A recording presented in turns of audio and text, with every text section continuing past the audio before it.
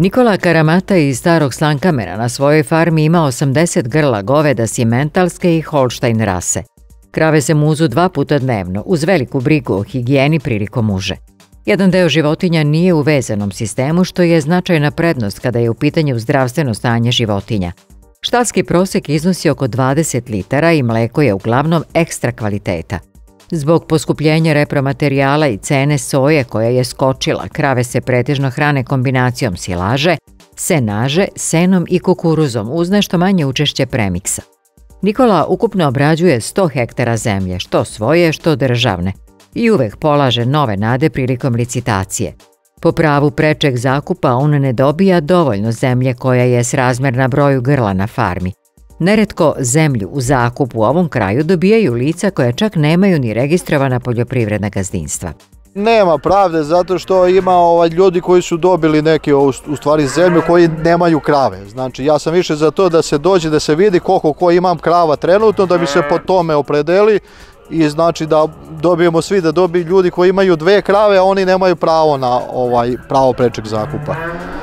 U tome nismo svi jednaki što bi rekli da Znači neko dobije više, neko manje, a evo ja imam što kaže da dobio sam manje nego što me zakonski pripada. Nikola ima u planu da osavremeni objekte u kojima će krave dobiti mnogo bolje uslove boravka, a samim tim imaće i bolju mlečnost. Svetle, provetrene i visoke štale treba da budu standard za buduće stočare. Cena ulaganja ne mora da bude visoka, važno je napraviti funkcionalne i čiste objekte koji mogu biti napravljeni od jeftinijih materijala. Imamo u planu, imamo dosta grla, čak i više nego što može da, nam, da im napravimo smeštaj, pa hoćemo da proširimo za jedno ovaj, 100 grla da bude u vezanom sistemu muzne, a da budu ova junadi telade ovako puštene, pa bi mi isto produžili dole. Imamo velik plac, pa bi napravili da nam bude ovaj što kaže zbog mesta. Već je dobro poznata priča o lošem položaju stočara u Srbiji. Pre par nedelja imali smo proteste mlekara zbog niske otkupne cene mleka i skupe stočne hrane. Proizvođači kažu da nema zarade i najavljuju zatvaranje farmi.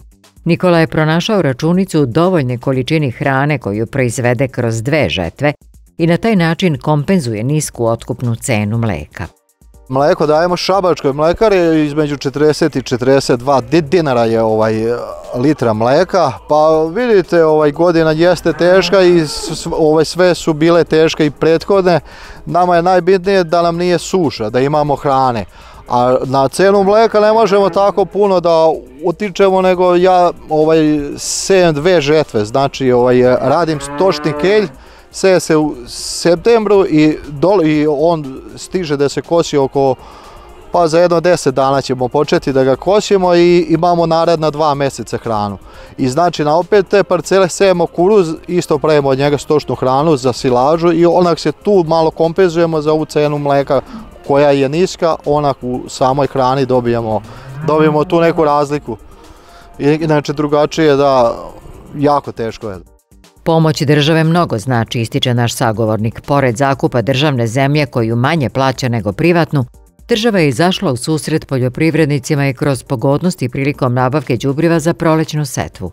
Dobijamo ovaj, evo samo to ovaj pravo prečeg zakupa, na primjer nas hektar zemlje ovaj državne košta oko 200 evra a dok znači privatnu plaćamo i 250 jutro zemlje. Znači samim tim smo ovaj, zadovoljni da kažem, ne mogu da kažem da nisam zadovoljan, ne bi mogao da držim toliko grla da nisam dobio tu zemlju.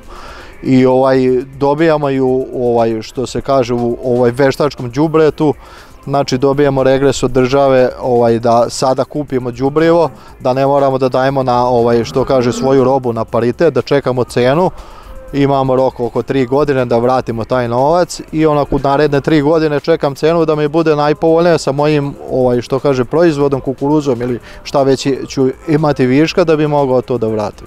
Stajnjak kao neizostavan sastojak u receptu dobrog roda može da poveća prinosi za 20%.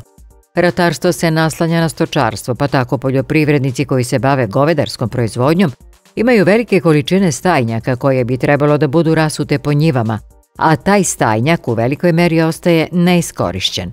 Stajnjak je organsko đubrivo koje predstavlja smesu čvrstih i tečnih materija koje su podvrgnute procesima previranja i kao takvo popravlja fizičke, hemijske i biološke osobine zemljišta, koje su veoma značajne u postizanju dobrog prinosa. Sav stanja koji nama bude višak, mi prvo džubrimo naše njive zbog velike cene veštaka, ali moramo i veštaka da uzmemo. I znači voćari koji sve što, nam je višak, znači kupe ljudi naši meštani koji sade ljudi voće, koji znaju već šta je stanjak, ali ratar jako slabo. Ne mogu da se pokriju, verovatno sa tom cenom, ovaj, pošto stanja košta da se razbaci, mi smo ga prodali oko 15 evra tonu, znači sad na ove cene, da. Ne sad to sigurno nekom je možda skupo, neko da što kaže možda ima drži svinje pa sam isto da, ali najviše kako kupu ljudi voćari pošto kažu da voće ne može bez stanjaka koje se navodnjava da traži stanje.